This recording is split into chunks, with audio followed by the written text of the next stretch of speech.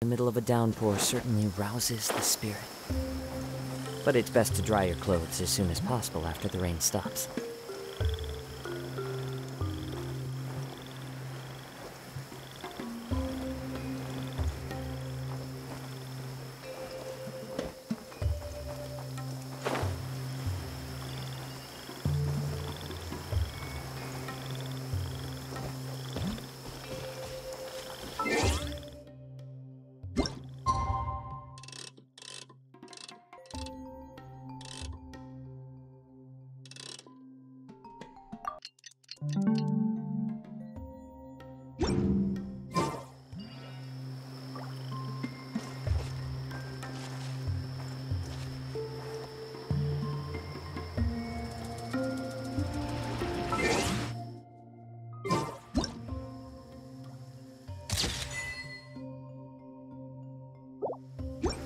Taking a stroll in the middle of a...